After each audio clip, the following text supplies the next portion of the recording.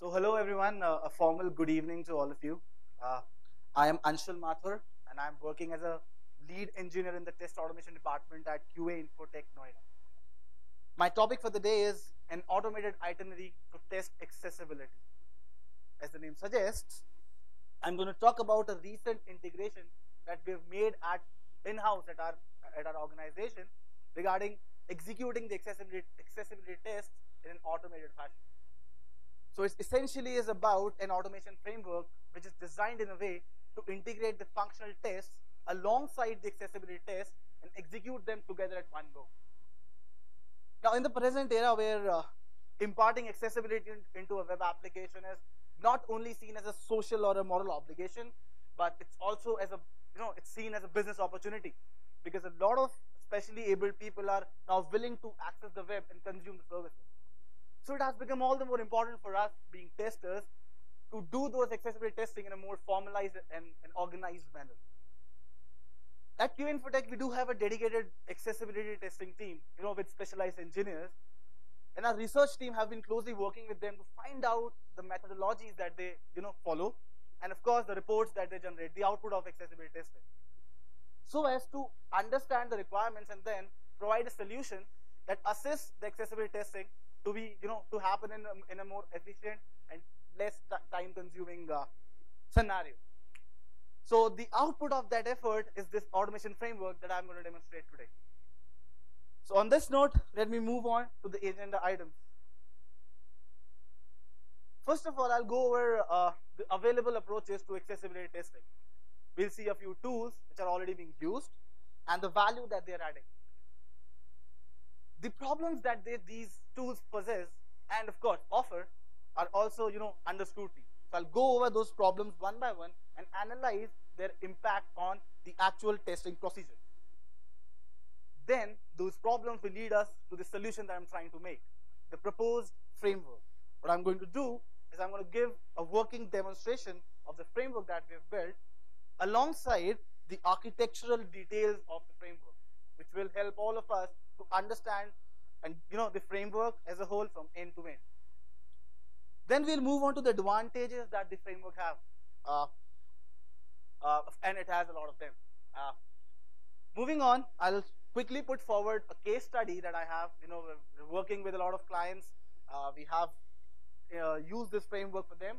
So there are some numbers that would assist, you know, uh, my proof of concept. Eventually, I'll do a conclusion with some key points and takeaways. Moving on. Here are a lot of tools, uh, and all of you must be, you know, in one way or the other, familiar with these. A couple of examples, as you see, are Synthesis and Tenon. So these are highly, you know, uh, reliable and very popular accessibility testing tools, uh, which are, you know, very effective. Uh, the effectiveness is to uh, the extent that they get integrated within the developer's code itself as and when there's a single line of code which is implemented by the developer, the accessibility feedback is given right there and then. But the, the problem with these tools are they are paid and they are very highly paid. Now, on the other hand, let's talk about a few open source tools which has which do not have any uh, free you know license costs associated with them. Uh, a few important ones, or I would say popular ones, are Wave and aXe. You must have heard about these two.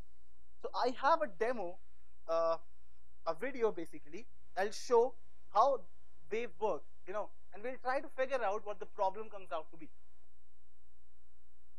Here I have got the Waves video ready. I'll just play the video. Before playing it, let me give you a brief about what the tool is all about. It's an online resource. It's a third-party server. What it does, it takes the web page's URL, you know, scans all the HTML from A from A to Z and then provides you the results in the form of all the errors, the accessibility violations. Uh, of course, those violations are against the WCAG 2.0 guidelines, uh, which comes under the 508 compliance of accessibility. And then it also gives you the structural elements and all the alerts that are required, uh, you know, when, when you're testing the accessibility. Let's go over it and see how it works. And then in the later part of the video, I'll show what the problem, what potential problems this tool have.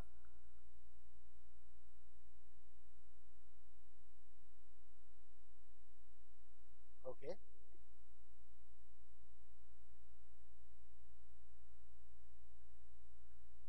Right. So Wave is an open source, a very free uh, and open source tool. And aXe is another one. Yeah, I'm sorry for the delay. So uh, showing you the web, it's, it's the home page of the Wave tool. Just go to this website. What I'm trying to do is copy the URL of the Google sign-in page pasted it here, and have hit the go button. You will very soon see the screen with the left panel that tells you the details about the wave finding.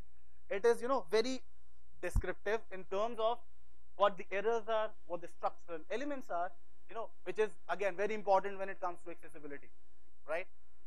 Uh, it all, now, okay, let me pause the video. Sure. Now, in this first part of the video, what we saw is it's very easy to use this. All you need to do is put the URL, get the result. But now, think about a scenario where you want to test a page that has a user session involved.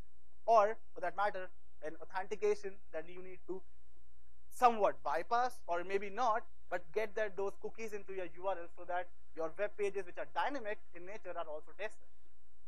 So I'm in this part of the video, what I'm trying to do is I'm trying to get into the inbox page of the uh, of my Gmail account and then paste the URL into the Wave tool and find out if it gives me the correct results or not.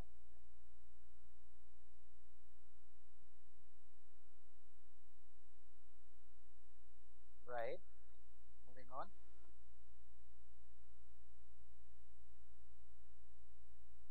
Yeah. Just copy paste, copying uh, the URL from, uh, from the inbox page and clicking the hit button. Ah, sorry, hitting the go button. So it tracks you down back to the login page because it could not log in because it did not have any user session information in that. Now, uh, having said that this tool is free, open source, reliable to an extent, but then it doesn't work with this dynamic page. To solve this problem, uh, now I see this as a problem, of course. There are a lot of other problems as well while you test accessibility as a whole, right? Let me put some focus on those. Let's get down to problem analysis. First of all, if you need to test accessibility, you need to have a dedicated team. Now, that dedicated team means you need to have people with usual abilities alongside people with special abilities to test the accessibility from end to end. It, you know, this is again a very costly effort because you need to maintain the team over a longer period of time, right?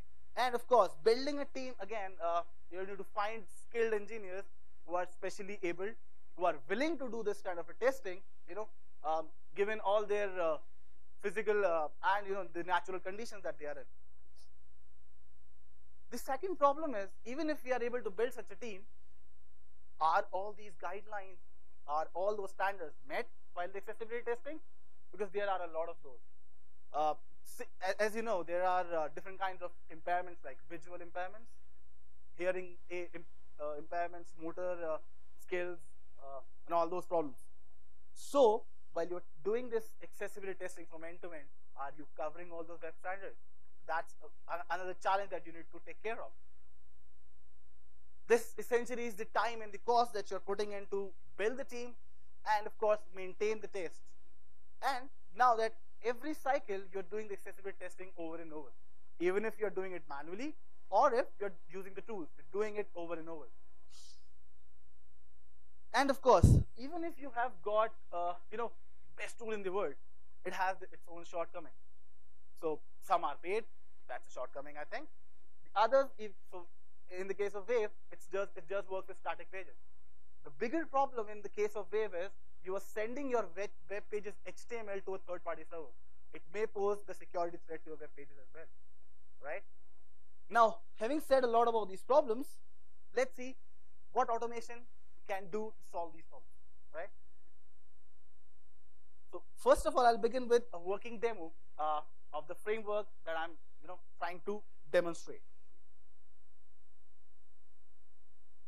All you see on, on the screen is, you know, it's a Maven command that I'm trying to trigger. It'll run my test. So the idea behind building this framework was to have your functional test scripts, which are already ready and there, you know, get your accessibility test in, included within the same framework. So that you get single report that gives you uh, the details about the functional pass and fail, of, and of course the accessibility violations. All right. So uh, just doing nothing but triggering the command, uh, which is the Maven command. Let's see how this works. Running my Selenium test. So essentially, it's the Selenium on which I've built the functional automation, and then I'm trying to uh, make my accessibility test work with them as well. The same example, I'm just trying to do it uh, in an automated fashion. Just trying to log in, go to my URL, uh, my inbox page. This is intentional. Uh, just you know, uh, diluted my inbox so that nobody can see it. Uh, now what it'll do is just the, the functional test was to log in. Now that my Selenium is on my inbox page, all I would do is I will trigger my accessibility test on this page. So essentially what I'm trying to do is everywhere my Selenium goes, my accessibility is going right with it. You know, I'll just forward the video a bit because it takes you know a few seconds to scan the accessibility from end to end. Right. So what it did was just close my browser after scanning for the accessibility. Here you see that my Maven command is completed. Now I'll show you a report that would, you know, tell us the effectiveness of this framework. Just open up the HTML report that is generated by the Maven Surefire, as all of us know. Right now, uh, I'll just pause it. We'll try to pause it so that everybody can able, able. What I have right now here is I have created two tests. Uh, I'm not really sure if you're able to view it, but I'll just tell you, uh, just uh, spell those. So it's this step one, which is a login test, and it's a functional test, right? You're providing a username, providing a password, trying to log in and verifying if you're on the home page or not. The second test, step two, is an accessibility test on the inbox page, right? Now my functionality test passed, but my accessibility test failed. I can see both of them in the same HTML report all the time. Now, now let's focus down on the accessibility violations, how they are being reported by this framework, right? Again, um, if I am able to I don't think it's uh, that I, I'm able, I would be able to zoom this in because it's a video, but I'll just try to, again, spell it, spell everything that's possible. So what I'm doing is I'm checking the accessibility issues on the inbox page. It gives me a list of violations. The violations are in the form of the HTML element because essentially all of us, you know, uh, all of us are aware about how accessibility is being tested. So it's more towards the HTML DOM structure and how it has been created. So the focus of this tool or the framework that we have built is towards the HTML only. So from the DOM structure, it, try, it tries to find out all those web elements which do not comply to the accessibility guidelines which are there formed by, again, WCAG 2.0. Uh, comes under 508, 508 compliance. The issues would be like ARIA attribute must conform to the valid value. So basically on this URL, there is one element or one web element which which has a css again sorry but you can see this but it's a css which it points out and it says that the css element should have an ARIA attribute similarly you can cover all your color contrast tests all your tests which says an image should have an alt text uh, all those tests that say your uh, you know the text the text should be present uh, and it should be meaningful all those tests which say uh, you should have caption for your videos for, for people who have hearing impairments. All those tests are covered by this framework itself. And the biggest point is again, I would repeat, it is like functional plus accessibility both together at the same time. Uh, the video now further gets us down to the more details of, of this report. Let me play the video back. Scroll down. So one of the section was about my functional test, all my messages are printed there. Now these are all the list of violations that are there. So all you need to do is just give this report to the developers. They know what the functionality is, and of course they would know how to fix the uh, accessibility issue. Now one very good thing uh, about this framework is, uh, about the tool that we are using for building this framework, is that it gives the suggestions to fix these problems as well. You know, right? If let's say if you have a problem it points out the problem in the HTML and then alongside it also gives fix any of the following area. So it essentially gives you uh, the way, the best way to resolve the problem. Of course, you cannot do it. But the developers can look at this report and find out that yes, this is what the solution is. If that doesn't work, come on, they are the champions of the code, so they can do it the other way they want to do it, right? Uh, so this is essentially the framework, how it works. Now let's get down to the technicalities. Okay. Something wrong. Uh, again, sorry for that. Yeah. Think this should work. So let's talk about uh, the requirements. So how this framework has been built the, the major ingredient, of course, alongside my Selenium test is the aXe API. It's a JavaScript library. It's a simple JavaScript library that has that that's of course an open source uh, uh, coming from an open source community. So uh, you have no license cost associated, and then it covers all the WCAG 2.0 guidelines, right? Uh, then there are a couple more reasons that why we are using this particular API to test the accessibility. Number one is cross-browser support. Just as a Selenium is working, you know, across browsers, doing a compatibility testing, for the functional point of view, in conjunction to your Selenium, your aXe is also working across browsers to test the accessibility. And now, in terms of accessibility, it is really imperative to test across browsers as well. You know, because the rendering engines are different, the CSS might be different, and all that stuff. The other important reason of using aXe is that it doesn't require any third-party server communication. So it's a jar, very you know, it's, it's a JS file. Sorry. What you need to do is you just what we have done in our case, we have built a Java client that consumes these JavaScript APIs from the JavaScript file, you know, and then provided it to our test cases for while uh, for assertion. That's simple. So uh, there's no third-party communication. There's no web communication going on uh, that saves your web application from any security threat that could might have been the case if you were using Wave or any other online source. Eventually, uh, you'd end up testing the entire document, uh, even if there are multiple frames, there are frames with, within frames and all that, because there are some tools that do not work well with the frames. But in the case of aXe, it does. Does it works really well with the you know with whatever structuring you have in your HTML. The data might be coming from 10 different frames, but your accessibility would work. Your test accessibility test would work. The next important requirement is, and maybe I would say the only requirement is execution of JavaScript commands. Because aXe is built in JavaScript, if you want to consume it, your automation script should be able to execute JavaScript on the browser. With Selenium, it's really simple. All of us know that Selenium can execute JavaScript, you know, as and when uh, as and when you need them. So it was really simple for us to integrate this aXe API with the Selenium automation framework, and that is what we've done. Let's look at look down at the architecture of the framework. Uh, it will give us again a more clearer picture of how this integration works.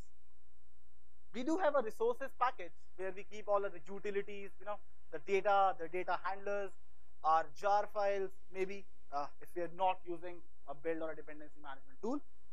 We keep this minified version of aXe API uh, within the resources folder itself. So this is how we have built it. Then we of course have a keywords package where all our Selenium code base is right there. You know, your actions, your UI. Uh, uh, so so what we've done is we've created an x.java, which I just mentioned. It's a Java client that consumes the JavaScript API. All right. Uh, now these keywords are then being called then being called in the test package. So you, everyone, you know, all of us create our automation framework in some or the other, you know, in, in a similar fashion. We keep it modular. So we've got our test package very separate from the keywords. This, the assertions that that we need to apply on the uh, you know the aXe uh, aXe uh, results, we do it in our test package. What aXe actually does is is pass, it passes the HTML document and eventually returns you a JSON object the JSON object has a list of violations on that particular page, right? So that what my test does, just reads that JSON and assert the JSON object, find out the violation and print it in my uh, HTML report that, that I'm creating. So if essentially the, the, this is the structure of the framework, Why, when I execute this using, as I, as I did in my video using, using the build tool, I'll just hit my web application, go, now as and when Selenium is on a web page, my accessibility tests are fired, right? Eventually, you have two set of tests, uh, you two sets of results. One, the functional tests, other, the accessibility test. So you've got two reports at the end of each execution. What our framework does, and you know the way it has been designed, is that we integrate both of them together into a single HTML, which I showed.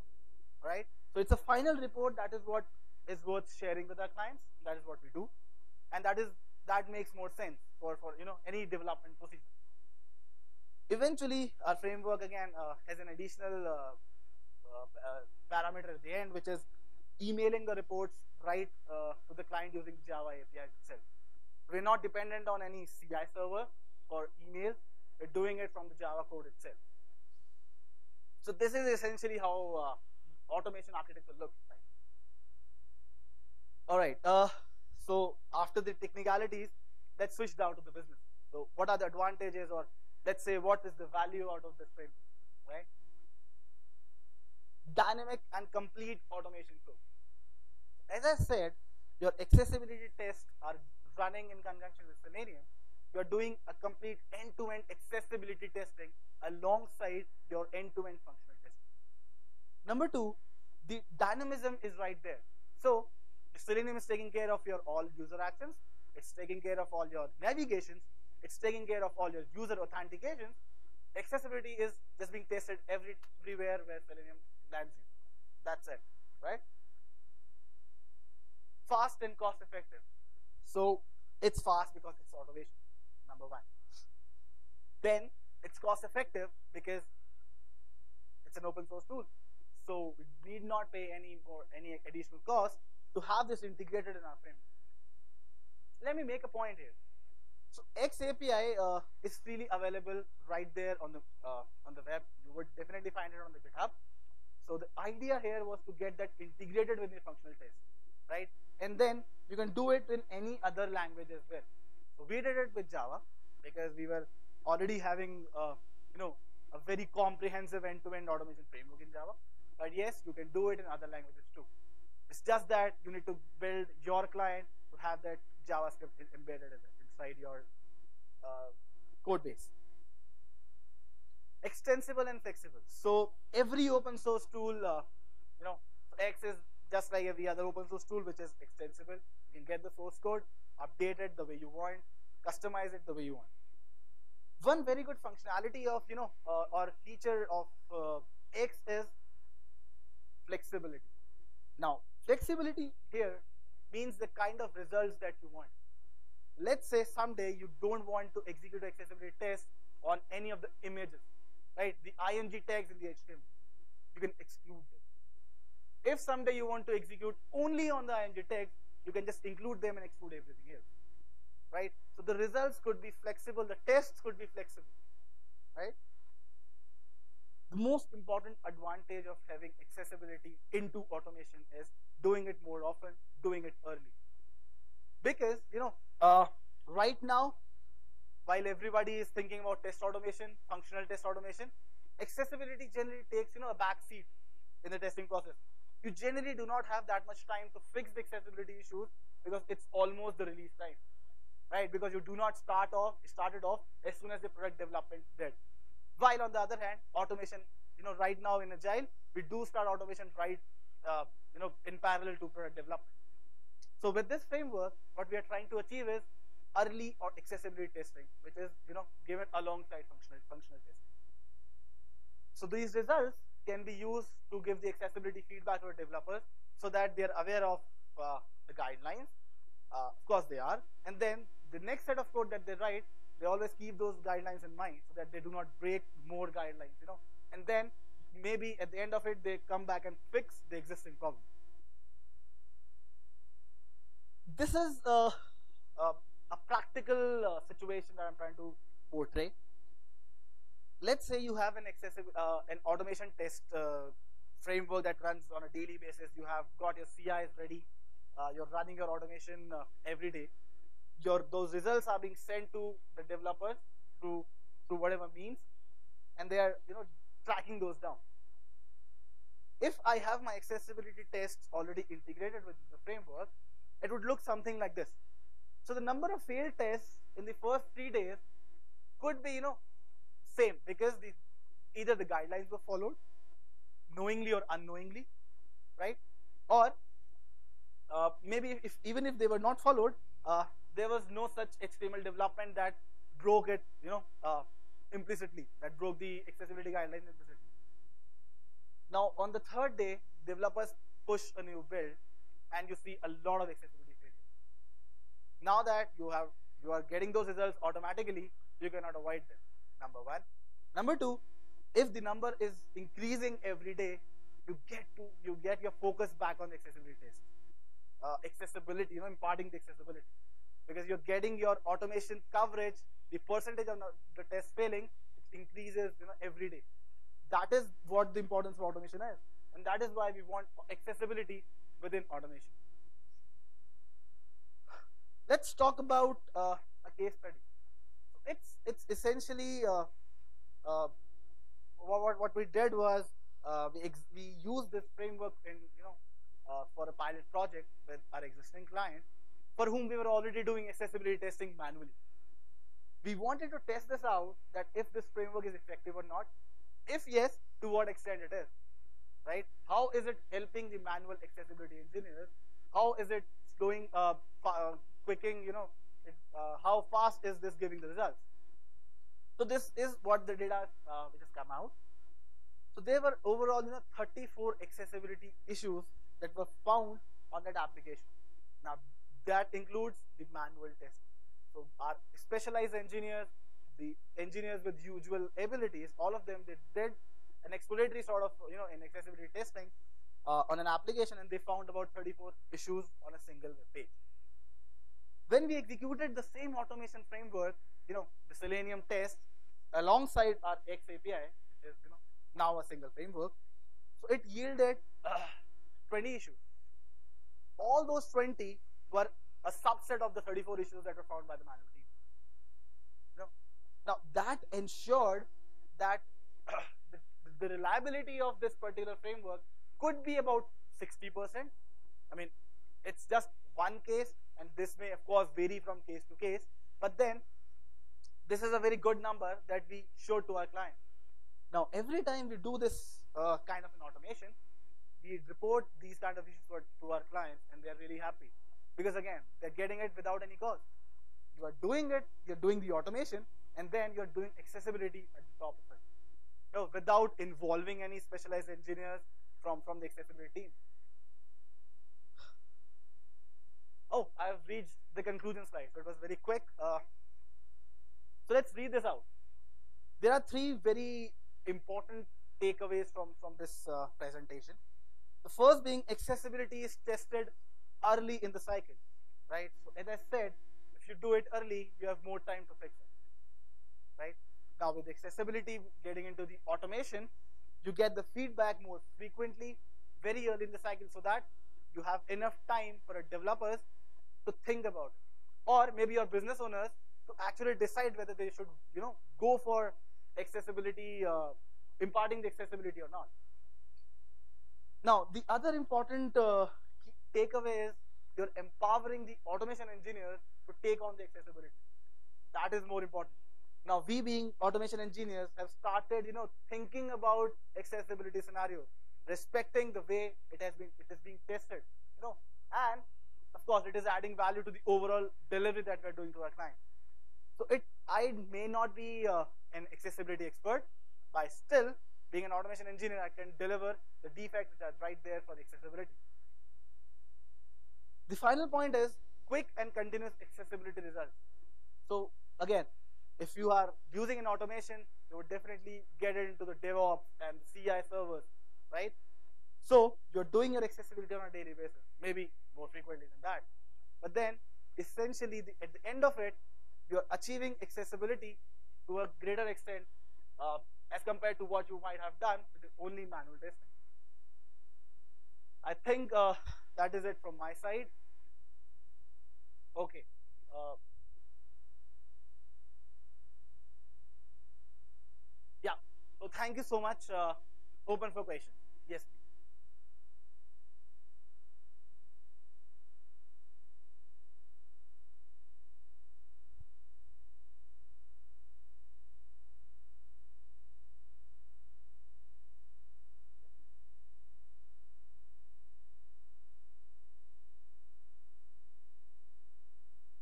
Yes, definitely. I will not show that. So again, as you know that in the automation we customize the reports, right? We can use our test frameworks to capture these tests and uh, and you know uh, give it at the end of at the end of the report. So we we might not or we may you know remove those tests from there from the home page or do it only in one of our test classes. We divide our workflow into multiple test classes, right? So what I can think of right now is we just keep this accessibility test on the home page in only one of the test class. We'll just keep on failing only in that particular report and no other test. As simple as that.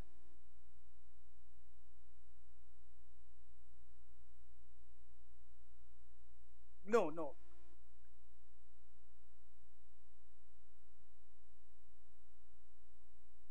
Yes, yes, you can absolutely do it. So that is what I said. So I have my keywords, uh, you know, the aXe Java, the Java implementation, my keywords uh, package. Wherever I want to use those methods, I can use that in any of my test class. If I don't want to do that, I, I, I, I may, you know, skip that.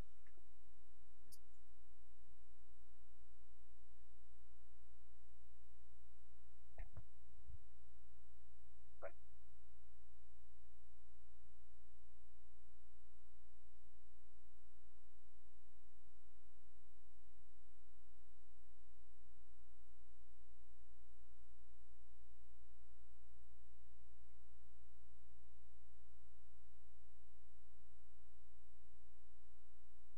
Exactly. Mhm.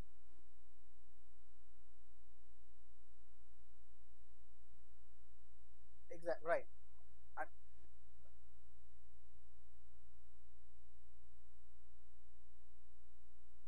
right. So you're absolutely correct. So, and that is being done by a lot of other tools as well. That is what I said initially that we have tools like Tenon, we have tools like Synthesis. It gets integrated at that level only with the developers. Have not tried that. Again, yeah. So the answer would be it's an API. It's a JavaScript API. That's it. You can integrate it with any other JavaScript or Java code, right, and get your answer. Now,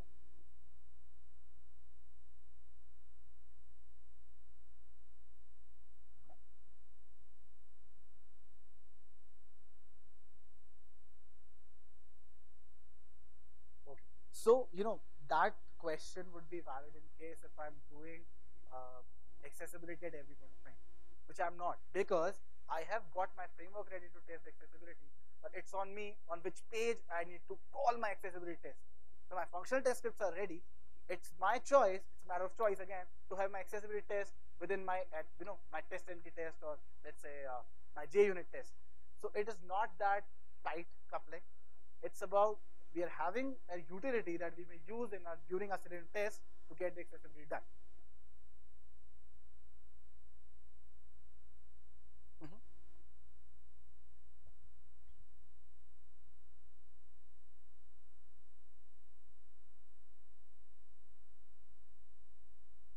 Okay.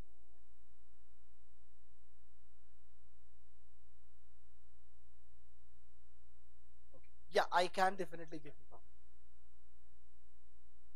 some. And I I totally understand. So uh, let me go to the inbox page uh, which I'm you know using for my demos, right? I'll just quickly show, uh, and then to add a point here, the aXe API that we are using, uh, there's also an extension uh, the same name aXe, so it works with different kind of browsers, uh, especially for Chrome and Firefox. I'll just try to use that. I must have got that installed.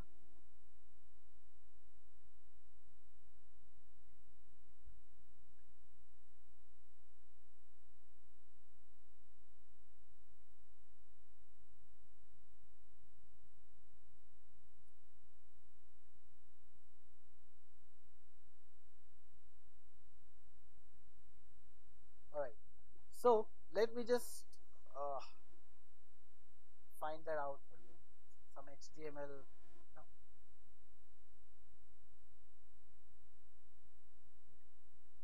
Now, uh, what I'm trying to say, you know, uh, and, and to answer the question now, there has to be an element, just this image, right?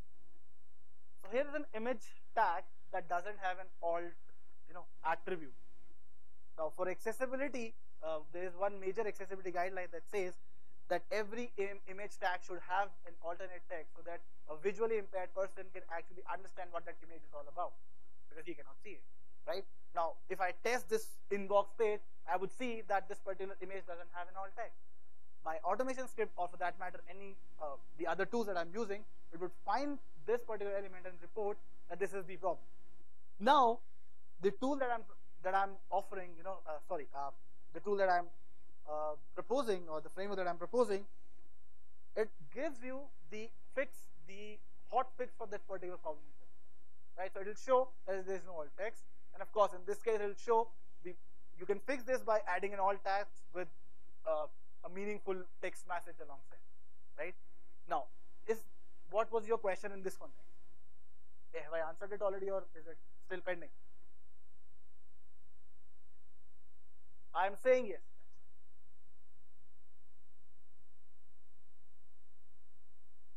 So for any visually impaired person, he would be able to understand with what image this is all about. So let's say there's an image of a dog. It, so you use screen readers. So for so yeah, so you use screen readers. Uh, you know, for for people who are visually impaired, they use screen readers to read the text from you know from left to right, right? And if there's no text, they would not be able to understand what the image is all about, right? Anything else? Any other questions? I'm really sorry. I can I, I didn't get you. Uh huh. Right. For for that particular case. That that was actually uh, automation limitation. I'll just explain why. Uh, thank you for this question. So there are a few areas which you cannot cover with automation, in particular with this framework. So let's say there are problems like incorrect uh, labels. Let's say there's a button which says cancel, or the button says submit. Clicking on it, it takes you to the cancel. It, it cancels the form, right? So that is incorrect labeling. Or there's there's a there's a label called enter your choice. So the uh, visually impaired, you know, uh, and especially able people would would think that there should be a text box where you should enter your choice. But then in actual, there are radio buttons. That's a problem. So those are the areas which the framework, you know, automation cannot judge whether these they, they really exist or not. Uh, another example, you know, is a keyboard trap. So there are multiple frames on the page.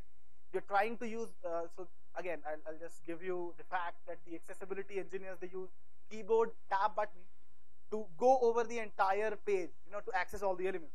Now there are some frames from which they cannot come out ever, right? If your tab goes inside that frame, it would never come out. It can only be tested by a manual testing engineer. So the automation cannot do that, right? Yes. Uh -huh. Listen.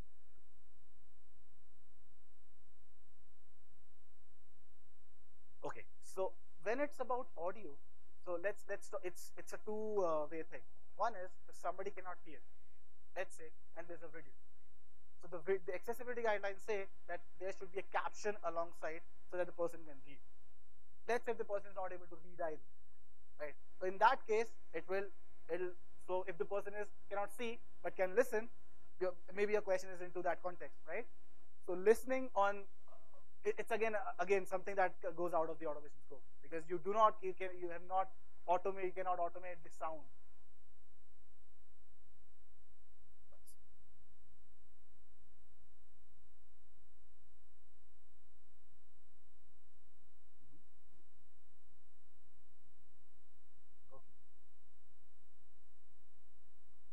Right. It's okay.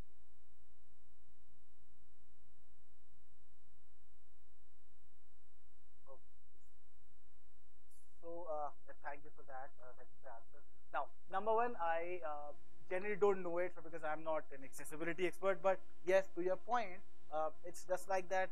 Automation uh, in this case is done at the HTML level. You know, every time you, you do it at the HTML level.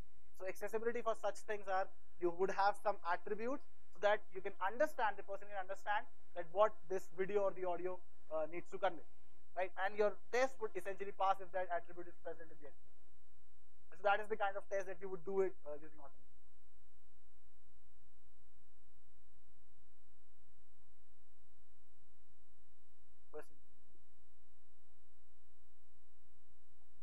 Mhm.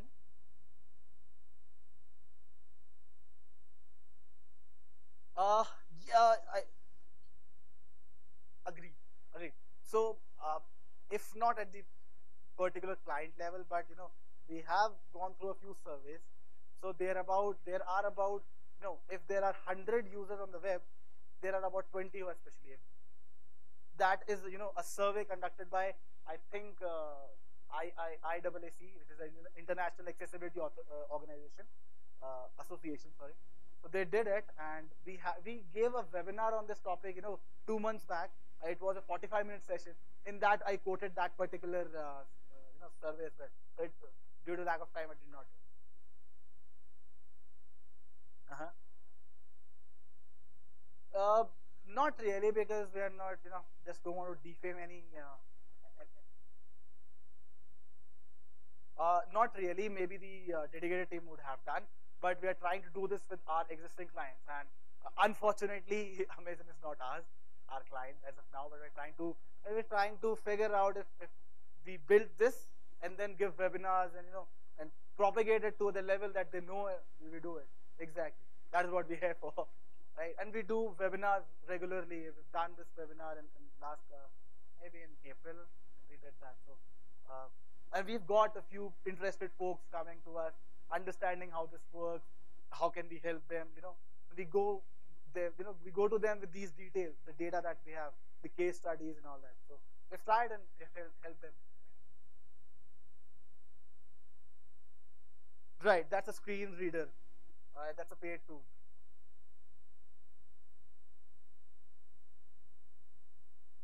No, no, no. Because there's a problem. Uh, uh, that's that's one thing. But I'd also like to add a point here. There's a reading sequence associated with every web page, right? It, it's it, it is you know either from left to right, or maybe you would see some pages which are splitted from between, and it's like first you have to read out the left side, and then you have to go to the right side. And then uh, you would also have seen some tables. You know, if there's a table on the web page, it would, if let's say it's an employee table, its serial number, its name, its let's say ID, its phone number, right? Now when I'm reading it from the left to right, the screen reader like JAWS, it reads it this way. Now it reads Anshul Mathur one. Doesn't tell me one is what to Anshul Mathur, right?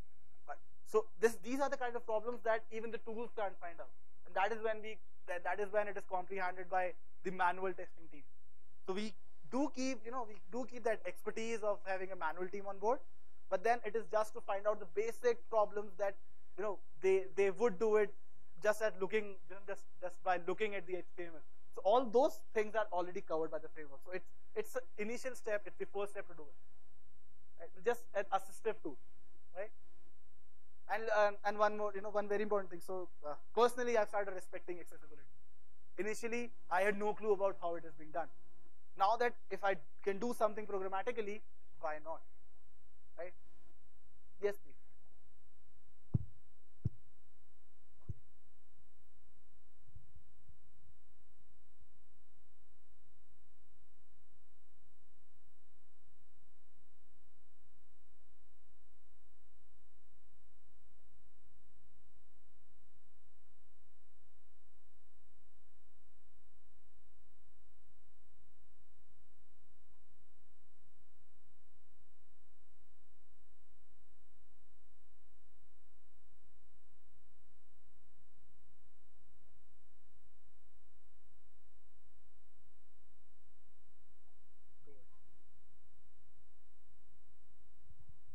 Right.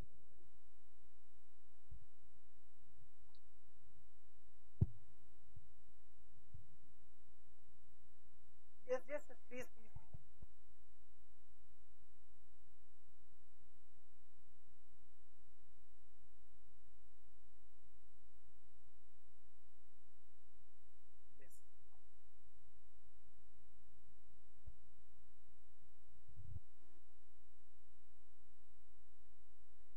Yes. Every you know accessibility guideline is implemented in the HTML itself, and your Selenium and DX head top to the HTML. So all guidelines can one way or the other be covered using this